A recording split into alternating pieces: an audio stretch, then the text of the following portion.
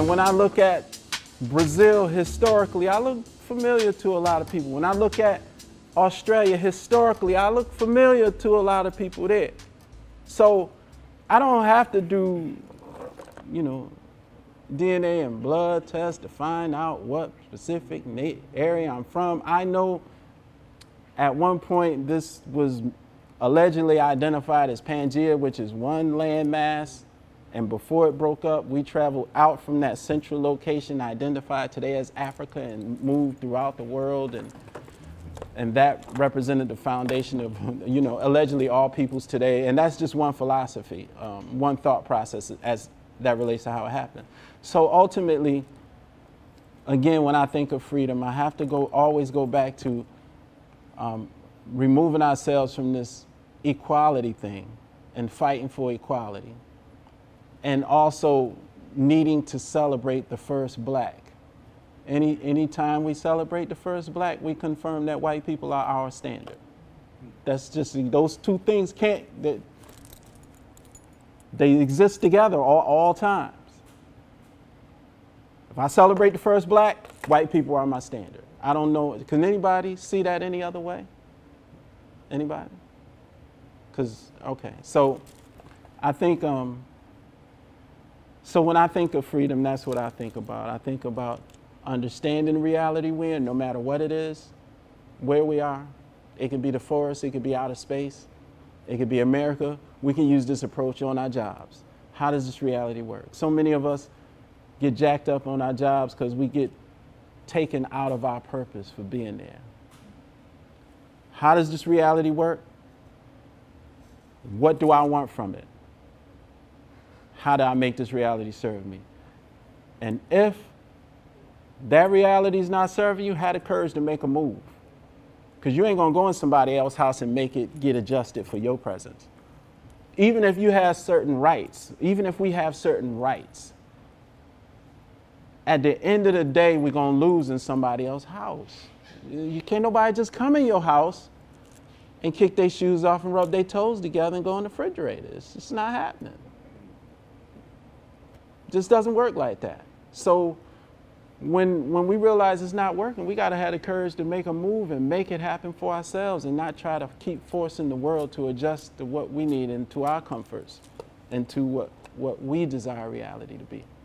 So that's, that's where I am on the, on the whole uh, freedom thing. And I'm not condemning the civil rights movement. I'm understanding it because I have the ability to look back and learn from it and assess what they got, what they did that makes sense and, and what they did that didn't make sense. And how can we move from there? Because we can't fight the constant reinforcement that that's what was best for us because we don't control it. But we can't understand it for ourselves and, and make moves that make sense. Anybody else? Now, I have another question for y'all. In this climate of conflict and confrontation, what do you think about young people being introduced to conscious conversations, to, um, to this approach to having an interaction. Um, high school students, college students, young people. What, what do y'all think about it? I'm just going to say in advance that I'm going to listen on this one because the experience that I've had with these millennials, as far as them having any consciousness, I I'm going to listen to what everybody else have to say because I don't. I whew, these millennials are just a whole nother entity. It's like a whole nother spirit that just doesn't. The apple doesn't fall too far from the tree. Doesn't exist anymore. I like these millennials are totally.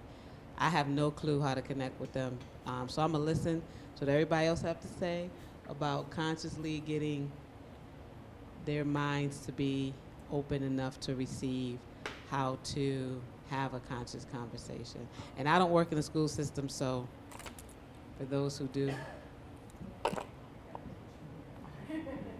As a public school teacher, we have to be very careful what we say and what we tell children. Um, I have been a third grade teacher for 20 years, and that's where I start. I start with my third grade students, and I am from the inner cities of Paterson, New Jersey. Love, love, love, love, love my city. I love my reality, and I am who I am, and no one can change me. And I tell my students when we turn on a YouTube video, you don't see us on there.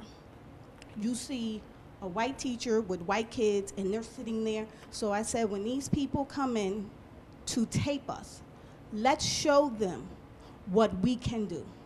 They're telling us that we can't read, we can't learn, that we are the scum of the earth. So let's show them who we really are. So when this company came in to take my classroom, had the worst of the worst kids. And someone said to me, Well, what did you do to bribe them to sit quietly? I don't bribe my children. These are my children in my city. All my kids are my children. That's how. I don't say my students, they're my children. And when we looked back at the video and I went back and I told my kids, I said, listen, they thought I gave you candy or something to sit you. They don't believe that we can sit quietly. No.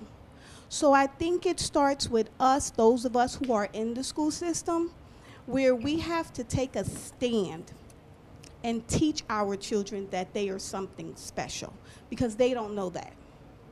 They really don't know that. And shame on us, and I put me in that category, for not being the person that does that.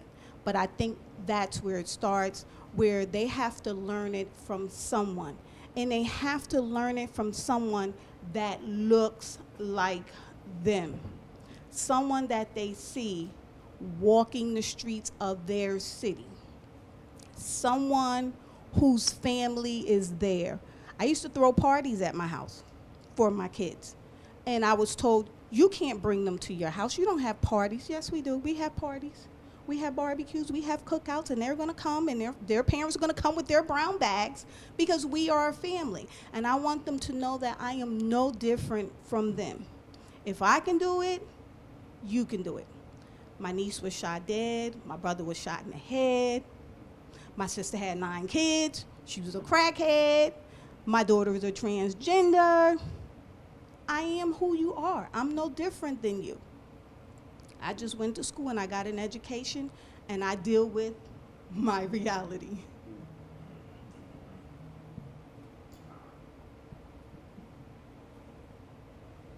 And I thank you for being that type of teacher. I did have those teachers, and, and you're right, and you remind me of Miss Brown. I just want to ask you to understand more about where you're at, because you said, I'm going to listen because I feel like the millennials are really just an entity all of their own. And do you believe there's no hope for the young people of today? That they are so ingrained in maybe social media, for example? I'm just throwing that out there. That they can't be, they can't see things differently?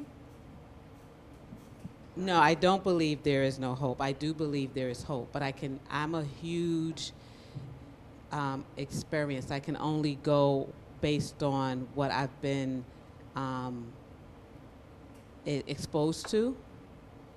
And so I have to venture out to different um, events or venues to, to see a different type of millennial that has the mindset to strive for greater. Um, but if I don't take myself out of the norm and look outside of my immediate environment, the millennials that I'm exposed to, um, they're they're not there mentally, and so I'm I will say I'm fortunate because I had teachers like this woman right here, um, Miss Brown, or my math teacher, um, you know, or my uh, English teacher, and they were black females or black men and they cared about the students. We I still remember, and I, I love math and science and biology and chemistry, so I'm, a, I'm more of a numbers person. Um, but I.